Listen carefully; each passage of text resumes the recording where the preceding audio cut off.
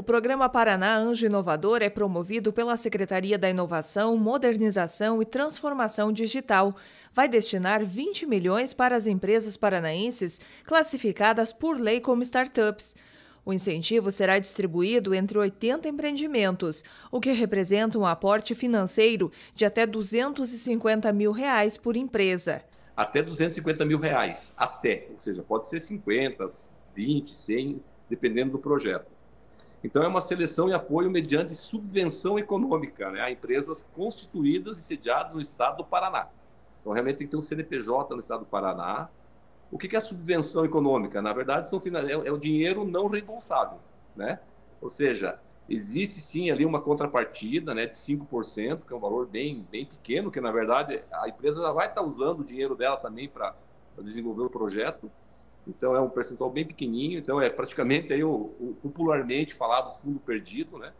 No sentido da gente fortalecer né, o ecossistema, fortalecer as empresas, as startups, as empresas, né, que tem essa, esse DNA né, da tecnologia, da inovação. O benefício será destinado para o desenvolvimento de produtos, serviços e processos inovadores nas áreas de saúde, educação, agricultura e gestão pública. O que está ligado né, às verticais aí que são critérios importantes. Fome zero agricultura sustentável, ou seja, tem uma questão social bem importante, saúde e bem-estar, é, soluções também que podem pode ser propostas nesse edital na área de educação de qualidade, ou seja, a gente fortalecer a educação de base, né? A gente tem falado aí recentemente, né, Josemari, na questão do letramento digital. Então, soluções que fortaleçam a educação de qualidade.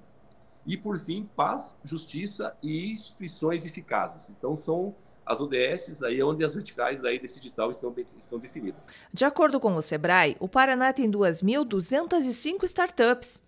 As inscrições devem ser realizadas por formulário online, disponível no site da Secretaria da Inovação, inova.pr.gov.br, até o dia 31 de agosto. A submissão das propostas elas vão até 31 de 8 de 2023, ou seja, ao final deste mês. Então, realmente, a, a, as pessoas é, precisam correr, né, montar os seus projetos, muitas delas já têm. É, o resultado vai, da admissibilidade das propostas vai ser 8 de setembro. E aí, a partir disso, tem todos os, todas as questões administrativas. No site da Secretaria também está o edital com todos os detalhes e informações sobre o programa. Os critérios de avaliação também estão disponíveis no edital. Dúvidas devem ser sanadas por e-mail.